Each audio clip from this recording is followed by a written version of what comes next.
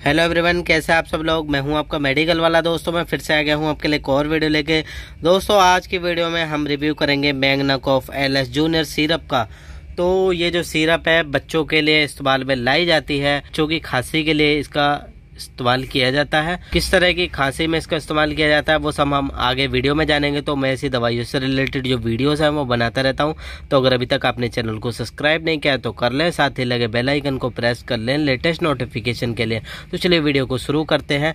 तो आप देख सकते हो मैंगना कॉफ एल जूनियर इसका ब्रांड नेम है। इसमें एक मैंगनॉक कॉफ एल में भी आती है।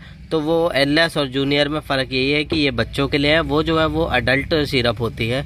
की मैन्युफैक्चरिंग कंपनी की बात करें तो वो है प्राइम मैनकाइंड तो यहाँ पे आप देख सकते हो इसका एम आर पी पिछहत्तर रुपये साठ एम की ये पैकिंग आपको मिल जाती है, साठ एम की।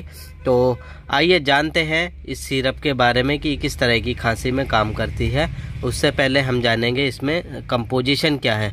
तो इसमें लिवोसाल्बोटामोल है एम्ब्रोक्सोल हाइड्रोक्लोराइड है गुआफेंसिनिन है और यहाँ पे आप इसकी क्वांटिटी भी देख सकते हो। और इस तरह की मैं जो सिरप है, कई सिरपों का मैं पहले रिव्यू कर चुका हूँ तो एलएस में आप सिरप देख सकते हो, मैं ज़्यादा डिटेल में आपको बताऊँगा नहीं। तो यदि आपके बच्चों को जो है खांसी है, उसके साथ में जुकाम है तो उस कंडीशन में इसका इस्तेमाल किया जाता है।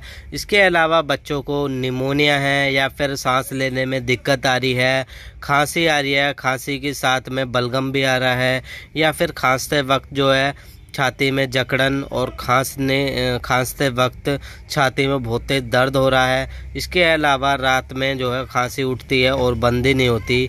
तो उस कंडीशन में इस्तेमाल किया जाता है। काफ़ी ज़्यादा इफ़ेक्टिव है ये। उस आपको बलगम वाली खांसी है तो उसमें भी बहुत ज़्यादा फ़ायदा करेगी। आपकी बलगम को पल, पतला करके जो है बाहर निकाल देती है रेस्पायरेटरी ट्रैक से। तो ये काफ़ी अच्छा काम करती है उस कंडीशन में भी।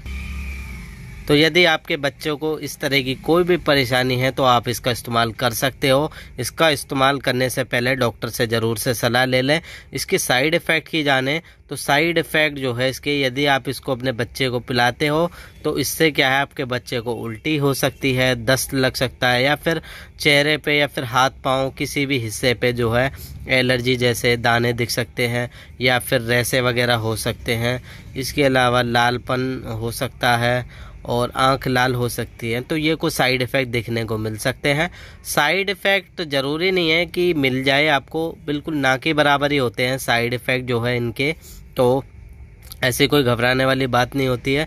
बाकी की जो डोज की बात करें तो डेढ़ साल से ऊपर के जो बच्चे हैं, वो उनको इसका इस्तेमाल कराना है। डेढ़ साल से लेके इसको छः सात साल तक जो है बच्चे को दे सकते हो तो काफ़ी उसमें अच्छा आराम करती है ये सिरप। डेढ़ साल से तीन साल तक का है तो उसको जो है ढाई एमएल से लेके और पाँच एम तक दिन में दो या तीन बार तक दी जाती है, वो कंडीशन के हिसाब से। बाकी की जो है, बच्चा यदि आपका पाँच साल से और सात साल तक का है तो पाँच एम से लेके और सात एम तक दी जाती है सुबह और शाम। बाकी की तीन बार भी ये दी जा सकती है, वो भी कंडीशन के ऊपर मैं बता रहा हूँ बार बार तो इसलिए डॉक्टर की सलाह इसमें ज़रूर से लें।